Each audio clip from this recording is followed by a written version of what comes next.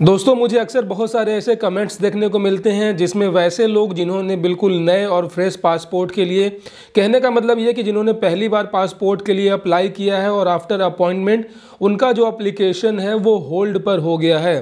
कहने का मतलब ये है कि जब भी वो अपना स्टेटस चेक कर रहे हैं ऑनलाइन वहाँ पे ये शो हो रहा है कि your application has been put on hold basically दोस्तों, इसका क्या मतलब होता है? इसका क्या सोल्यूशन है?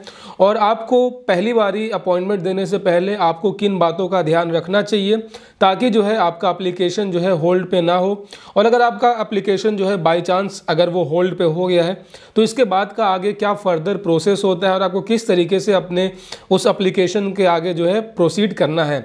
तो बेसिकली दोस्तों अप्लीकेशन ऑन होल्ड का मतलब ही यही हुआ कि आपने जो पासपोर्ट के लिए आवेदन दिया है बेसिकली उसको रोक दिया गया है। जिस तरीके से आपने अपने एप्लीकेशन को दिया था, उसी तरीके से उसको वहीं पे रोक दिया गया है। मतलब ये कि उस पर आगे कोई भी कार्रवाई नहीं होगी, उसको आगे प्रोसीड नहीं किया जाएगा, जब तक कि आपके द्वारा जिस कारण उस एप्लीकेशन को होल्ड किया गया है, उसको आप क्लियर ना करें। दोस्तों बेसिकली ये होता है पीएसके के अंदर जब आप ऑनलाइन अप्लाई करने के बाद जब आप एक अपना स्लॉट बुकिंग करते हैं और आप एक फिक्स डेट पे आप पीएस के मतलब पासपोर्ट सेवा केंद्र या फिर पोस्ट ऑफ़िस पासपोर्ट सेवा केंद्र के अंदर आप जाते हैं जहाँ पे आपका बेसिकली बायोमेट्रिक्स होता है, आपके डॉक्यूमेंट्स का वहाँ पे फिज़िकली वेरिफिकेशन किया जाता है। और साथ ही साथ जहाँ पे आपकी फ़ोटो ली जाती है, जहाँ पे डिफरेंट डिफरेंट काउंटर्स बने होते हैं ए बी सी काउंटर पे आपको पार करने होते हैं, जहाँ काउंटर नंबर ए पे आपकी फ़ोटो ली जाती है, आपके डॉक्यूमेंट्स की स्कैन की जाती है डॉक्यूमेंट नंबर बी पे आपके डॉक्यूमेंट्स की वेरिफिकेशन की जाती है। और काउंटर नंबर सी पे आपको जो है एक एक्नॉलेजमेंट लेटर दिया जाता है। वो इस बात का प्रूफ होता है कि आपका जो अप्लीकेशन है, वो सक्सेसफुली हो चुका है। मैटर फंसता है दोस्तों, यहाँ पे काउंटर नंबर बी पे, जहाँ पे बेसिकली पासपोर्ट ऑफिसर्स होते हैं और वो आपके डॉक्यूमेंट्स की जो है फिज़िकली चेक करते हैं। जहाँ पे आपके पास जो भी आप डॉक्यूमेंट्स आपने सपोर्टिव डॉक्यूमेंट्स वहाँ पे लगा है। वो सभी बिल्कुल ओरिजिनल फॉर्म में होना चाहिए।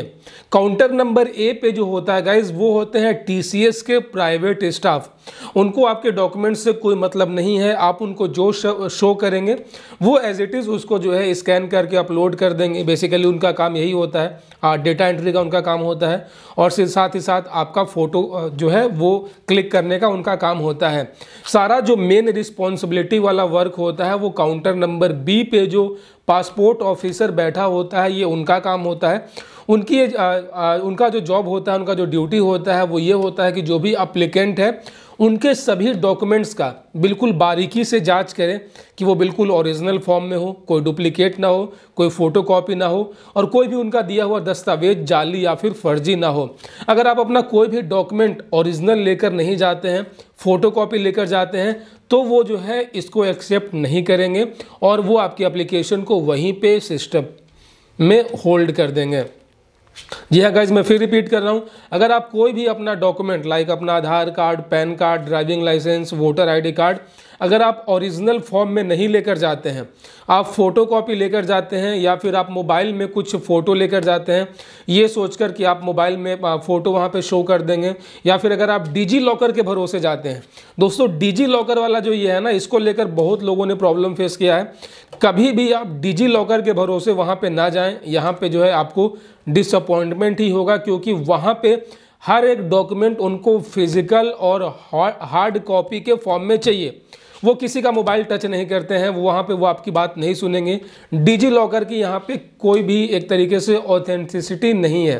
तो मेक श्योर sure कि आप जो भी डॉक्यूमेंट लेकर जाएँ, आप अपना आधार कार्ड बिल्कुल ओरिजिनल फॉर्म में लेकर जाएँ। पैन कार्ड बिल्कुल ओरिजिनल फॉर्म में लेकर जाएँ।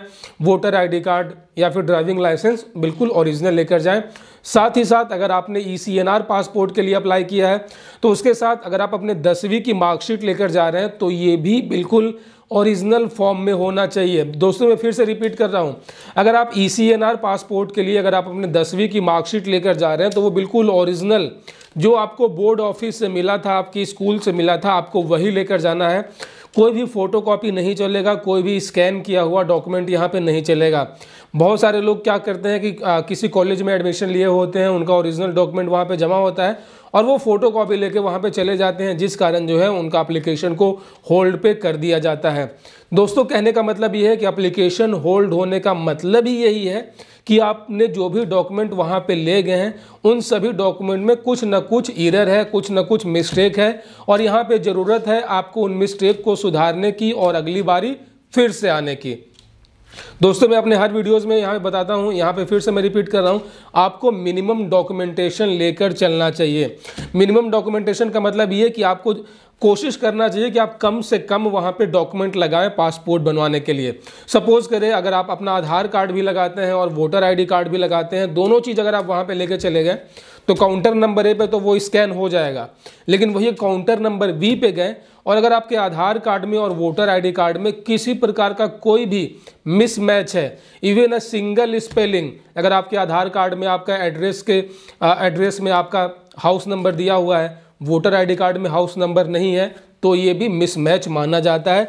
यहाँ पे डिटो बिल्कुल अगर same to same spelling same to same sentence same to same word area pin code सब कुछ सेम है तभी आपका दोनों चीज़ें यहाँ पे वैलिड होगी। अगर दोनों में कुछ डिसिमिलैरिटी है तो आप अपना दोनों में से कोई एक डॉक्यूमेंट लेकर मत जाओ। आधार कार्ड इनफ है, केवल आधार कार्ड लेकर जाओ। वही अगर आप ई e पासपोर्ट के लिए अप्लाई कर रहे हैं तो गाइज़ यहाँ पे आपको हर हाल में अपना ओरिजिनल सर्टिफिकेट या फिर मार्कशीट लेकर जाना होगा। डिजी लॉकर के भरोसे ना जाए, ना ही यहाँ पे कोई फ़ोटो कॉपी चलेगा। तो ठीक इस तरीके से दोस्तों, ये कुछ ऐसे कॉमन इश्यूज़ होते हैं कॉमन मिस्टेक्स होते हैं, जिसके कारण जो है काउंटर नंबर बी पे जो बैठा हुआ पासपोर्ट ऑफिसर होता है, वो आपके एप्लीकेशन को होल्ड कर देता है। अब इसके बाद क्या? दोस्तों, यहाँ पे दो सिचुएशन होते हैं। पहला ये कि जो वहाँ पे आपको वहीं पे अगर मैनुअली जो है वो नज़र में आ जाती है तो आपको वहीं पे वो बता देंगे। और आपको एक अगला डेट वो आपको उसी फॉर्म पे लिखकर वापस जाने को बोलेंगे। बोलेंगे कि आप अपने डॉक्यूमेंट में ये ये मिस्टेक है, आप ये ये करेक्शन करके इस डेट पे आ जाओ।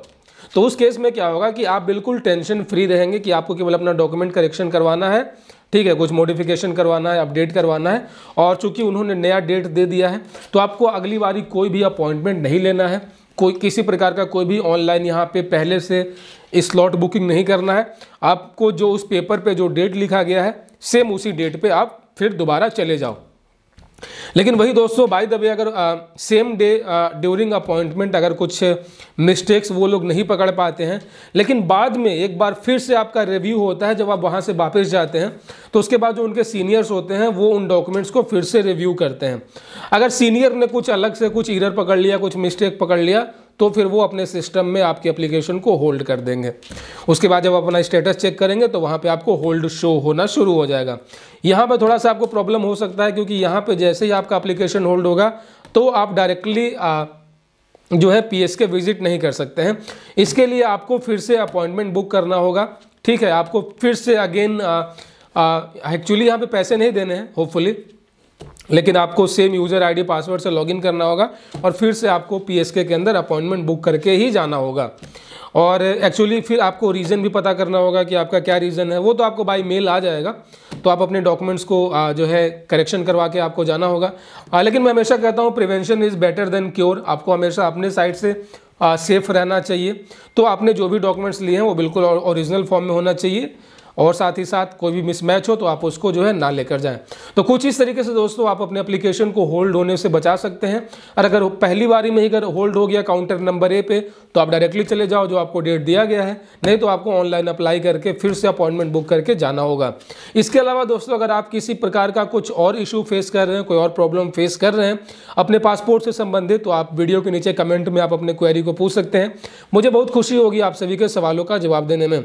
और अगर आप चाहते हैं कि हम बार बार यूँ ही मिलते रहें तो चैनल को सब्सक्राइब कर लीजिएगा, नोटिफिकेशन बेल ऑन कर लीजिएगा, ताकि अगली बार जब मैं कोई नया कंटेंट लेकर आऊँ तो आप उसे मिस ना कर सकें। तब तक अपना बहुत सारा ख्याल रखिए। जय हिंद।